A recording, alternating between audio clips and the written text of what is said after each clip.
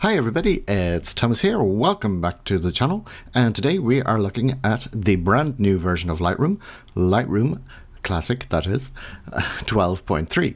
So 12.3 sounds like a bit of a point update but there's actually a pretty big new feature in this and we're going to get to that in a second there's actually a whole bunch of updates in this release and I'm just going to cover some of the big ones. Also, I will have chapter points in the description below too, so you can skip ahead to the bit that you want.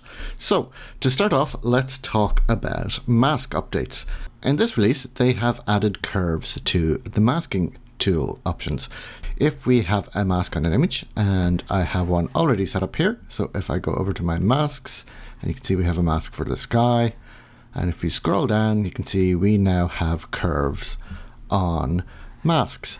So we kind of knew this was coming because it, they had already added it to Camera Raw, um, but now it is in Lightroom as well. So I can adjust the sky using curves. And obviously this will work on any mask. So uh, one thing to note, um, if you see the histogram down here, this histogram only shows what is in the mask. So in this case, you're only seeing the histogram for the selected sky. This is something I know people have been looking for for a long time, and now it, you can finally do it. So yeah, curves are now available on masks. So uh, the other thing that they've added to masking is they have added some new features to the people masking. So if I go over to this rather embarrassing photo of yours truly, um, you can now automatically create masks for both facial hair and clothes. So if I go to people down here, you can see person and it's picked up me. Um, you can now select facial hair like so um, or clothes. So if I, for example, I create a mask for facial hair for my beard, I can adjust my beard. If only it was so easy in real life. See if I can get rid of the grey. oh, yeah, yeah, 20 years younger. yeah, no, that's actually scary. So let's just get rid of that. Okay, um, and then the other thing is for clothes. So I can create a mask for clothes. And I can do stuff like adjust the color so on maybe make it a black t-shirt. And then I can use the new curves to also adjust it. Okay so that is masking. So the second thing actually sounds like a minor feature but it's one of those little changes that I think people might get a bit confused by at first. So let me just pop over to another image here. Okay so if you look at the adjustments panel and you scroll down and you may have noticed what where switches here are now little eyeballs. So if I, let's say make some edits on the curves tool, like so. Previously, if I wanted to turn this off, I would have a little switch here um, and I would turn it off uh, if I wanted to see what it looked like without the curve. Um, but now, as you can see, we have eyeball, little eyeball icon and if I press and hold on that it now gives me a before view for that panel or basically it temporarily disables that panel. So and then when I release the mouse button um, it goes back to showing it on. So it's kind of like a shortcut for temporarily disabling um, that particular panel. Again I can do it here like so. And you'll also notice that some are grayed out. Um, if they are grayed out, that means there is no adjustments on that particular panel. So uh, the little eyeball icon also acts like an edit indicator. Now, you may be saying to yourself, but what if I want to permanently turn off uh, an adjustment panel? Uh, and what if I want my switches back? Well, you just hold down the Alt key on a PC or Option on Windows and you get your switches back while you have the Alt key held down.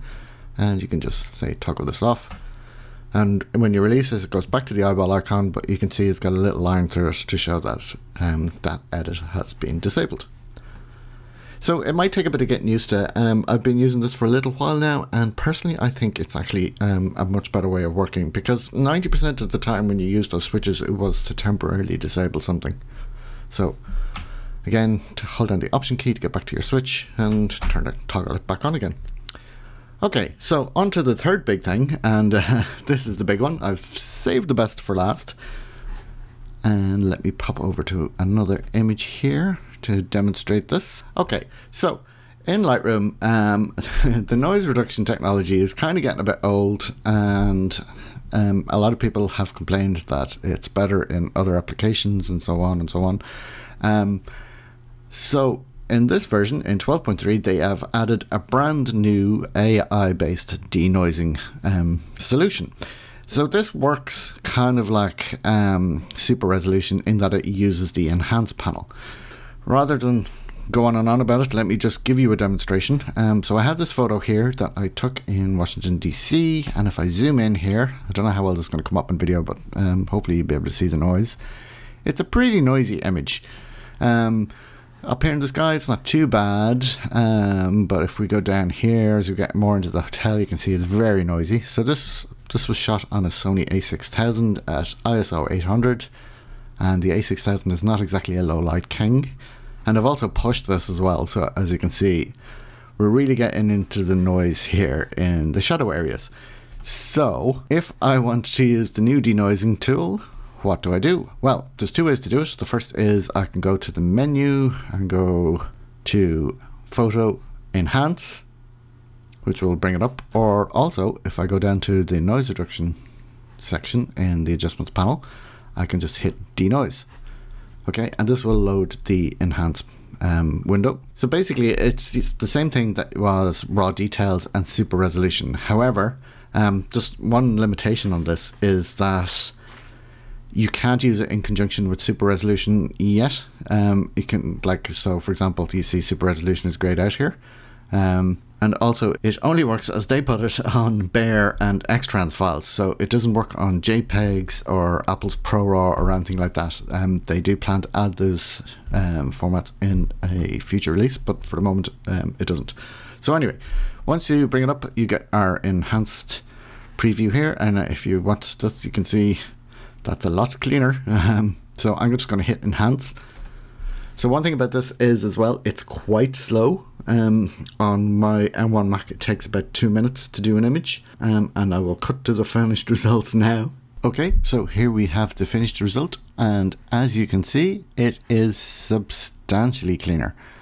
Now, um, I don't know how well this is going to show up on video, but it's like someone took a, a squeegee, you know, one of those things they use to clean windows, and just wiped the noise off the image. so uh, let me just bring up a side by side here and if I just get rid of the interface. So, like I said, the results are pretty impressive. Um, when I first ran this, I was like, whoa. um, yeah, its noise is much is almost gone. Um, occasionally, you might see some weird details if there was like a lot of noise. Um, but yeah, that is pretty clean. Um, and that was only at 50%. You can actually toggle it all the way up to 100%, but it gets a bit weird. Um, in fact, let me show you an example of that. Um, so, okay, so here's an image from New York, and this is an old uh, Nikon D90 I took this with, so it was quite noisy. So if I zoom in here, you can see it's very noisy. So I tried this on 100% to see uh, what it would look like, and this is it on 100%. I don't know how well this, again, I don't know how well any of these are showing up on video. Um, but it's like, the noise is gone. It's totally gone. Um, it looks a bit weird because it's a bit too clean. Um, and in some cases, um, like it, it's, it has to guess uh, basically where if it was really noisy. So you can see kind of see it around here. Um, but still, it's really impressive. Um, I recommend you use it at about 50%. So here's the same images at a 50%. So you can see there's a little bit of noise in it, but that actually, in my opinion, makes it look a, a bit more natural. Um, but yeah, I mean, there's not much more I can say. If you have Lightroom, um, download it and try it, and I think you will be impressed. Um, if you may be wondering how does this compare to say uh, DxO Pure Raw, um, and there's a couple of differences. For start, um, DxO is a lot faster, um, but in my opinion, DxO isn't as clean. Um, the results uh, aren't quite as natural looking, and it has a tendency to do. Um, it kind of sharpens images as well because it's running it through its. Uh, it's basically its um, processing engine let me just very quickly run this through Pure Raw and I will, I'll actually just edit in the Pure Raw version. So, okay, so here we have the Pure Raw version and you, as you can see, there's a bit more detail in it. The results are sharper, but in my opinion, it's not as clean. Um, here we have the Lightroom one on the right and the Pure Raw on the left. As you can see, the Pure Raw is, is definitely a lot sharper, but the Lightroom one looks a lot less processed and um, a lot more natural looking. And you can, of course, ramp up the sharpening in the Lightroom one as well. There's no sharpening, um, there's no additional sharpening done, whereas uh, the DxO one is using its own sharpening module. Um, so while the results from Lightroom are a lot cleaner and more natural looking, you may actually get sharper results from um, DxO. So uh, what I will do is in a future video, I will do a full comparison between this and DxO Pure Raw but in my opinion, the big advantage of Pure Raw is that it's faster, and the big advantage of this new feature in Lightroom is, apart from the fact that it's free, um, it's much cleaner and much more natural looking. So it's one of those things that you uh, really need to try it on your own images, and I think you will be impressed. Um, I don't know how long it's going to take on older machines. On my M1, as I said, it takes about two minutes, um, depending on the image. It seems to work better with higher resolution images than lower resolution images, but overall, um, in my opinion, the results are pretty amazing. So there you have it. That is the main key features of Lightroom 12.3. There are a few other minor new features. Uh, for example, you can now select, uh, let me just go in here. You can now select the version of Photoshop um, if you have multiple versions of Photoshop installed. Um, you also have the ability, if you select multiple images, you can now go uh, open as smart object layers in Photoshop and this will open your images um, in one document in Photoshop and each image will be its own smart object layer. Um, previously you just had open as layers in Photoshop and it would um, open your images as layers but they wouldn't be smart objects. So as I said that is the main new features. Um, there's a, a, few other little things and, and the usual um, new camera support and new lens support. Um, if you check in the description below, I will have a link to my blog post where I have more details on this release.